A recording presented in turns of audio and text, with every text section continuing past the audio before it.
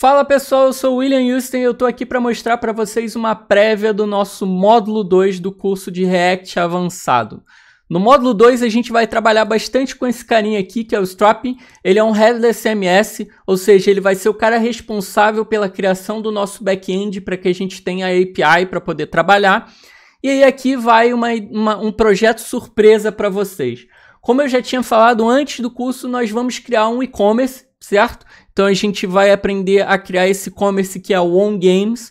Mas o que a gente resolveu fazer é o seguinte, um projeto surpresa para vocês também.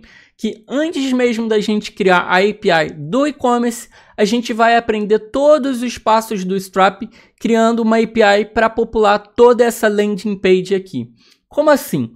Então a gente tem toda essa landing page, onde a gente tem vários dados, certo? Essa landing page ela foi toda criada com, é, no Next.js, com React, com Styled Components, enfim, com todas as tecnologias descritas aqui. A gente utilizou o boilerplate do módulo 1 para poder fazer essa página aqui. E aí o que a gente vai aprender a fazer é o seguinte: a gente vai aprender a criar uma estrutura com o Strap, onde a gente vai separar todo o conteúdo, então todos os fields que a gente tem lá da página, a gente vai separar todas as seções, tudo, em diferentes componentes, em diferentes fields, ou seja, a gente vai criar toda uma API necessária para a gente poder criar essa página aqui de forma dinâmica. Então a gente vai aprender a criar todos esses campos, depois a gente vai aprender a popular todos eles para que a gente possa ter então é, toda essa nossa página que é estática, mas que tenha dados dinâmicos. E aí, para isso, o que, que a gente vai fazer? A gente vai utilizar dentro do, da nossa, é, do nossa parte aqui do Next, a gente vai então ter várias queries para a gente trabalhar aí com GraphQL. Então a gente já vai aprender alguns conceitos, por exemplo, como os fragments, para a gente separar cada pedacinho ali como um fragment e no final a gente ter uma query completa da nossa landing page. Vamos tipar toda a nossa API, então todos os dados, todas as coisas a gente vai utilizar o TypeScript para que a gente tenha um type safe mesmo vindo já da nossa API. A gente vai utilizar o GraphQL Request do Prisma, que é um pacote bem pequenininho para a gente poder já trabalhar aí com o GraphQL para poder chamar aí todos os dados, fazer as nossas queries. E a gente, obviamente, vai trabalhar tanto com parte de é, desenvolvimento quanto produção. Então a gente vai trabalhar com as variáveis de ambiente, a gente vai trabalhar, obviamente, com tudo já bem preparado para um código mais em produção. E aí, obviamente, a gente vai utilizar uma propriedade do Next, que é o getStaticProps, que é um, uma forma da gente conseguir gerar uma página estática a partir do Next. Então eu já expliquei para vocês em outro vídeo também, eu vou deixar na descrição que o Next ele é bem famoso por uma parte de trabalhar server-side rendering, mas a gente também cons consegue criar páginas estáticas com o Next. Então a gente vai usar aí o getStaticProps para poder fazer os requests aí do GraphQL e aí alimentar todas as nossas sessões com esses dados. E aí, obviamente, para a gente já ver isso funcionando de fato, o que a gente vai fazer é o seguinte: é, a gente já vai aprender a subir essa nossa API, por exemplo, para o Heroku. Eu falei para vocês que o módulo 6 vai ser o responsável por trabalhar mais com deploy, etc. E sim, o módulo 6 vai ser bem mais completo. A gente vai aprender a criar a nossa própria máquina na DigitalOcean e tudo. Mas já para a gente ter um pouco, né, já ter algo em produção, para a gente já poder ver algo funcionando mesmo, eu vou ensinar para vocês como criar é, essa API dentro do Heroku. A gente vai estar tá trabalhando com o banco Postgre, então eu vou mostrar para vocês também como conectar o banco do Postgre no Heroku. E a gente vai ter a parte do front-end também no Netlify, que é o nosso estático. Então todo o estático a gente vai fazer no Netlify.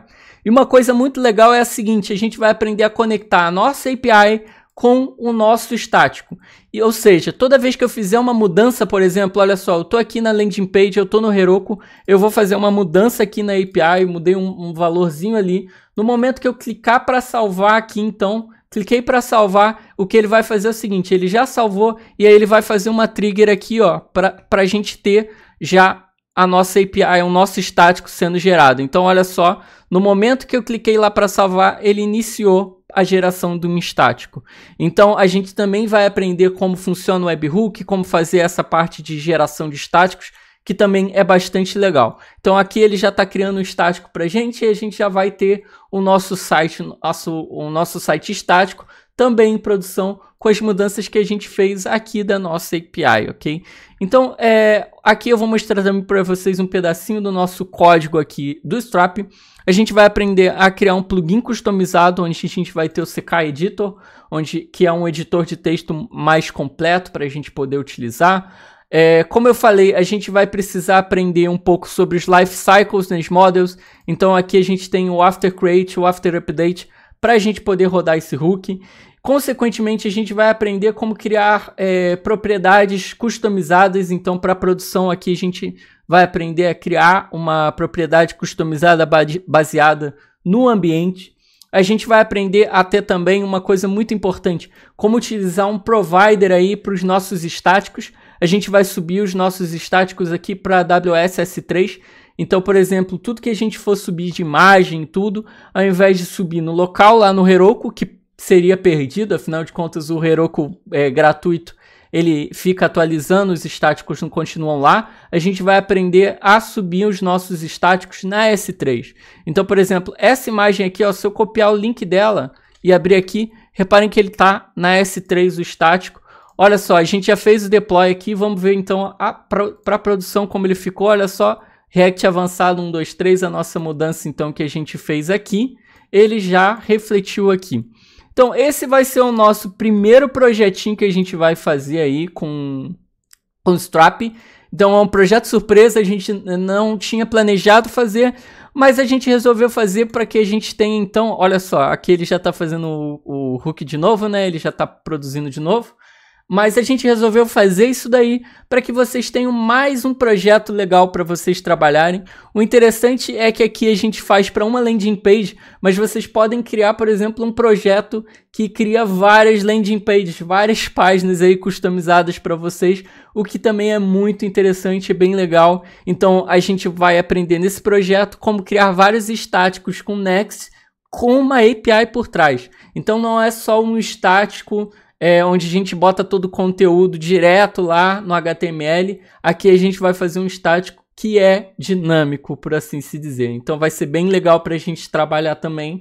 E eu espero que vocês gostem bastante. Assim a gente vai trabalhar com essa parte e também depois a gente vai trabalhar com a parte do e-commerce, é, criando a API do e-commerce e fazendo customização também para tirar esse strap aqui, essas cores. A gente vai editar para deixar tudo com as cores da nossa loja também.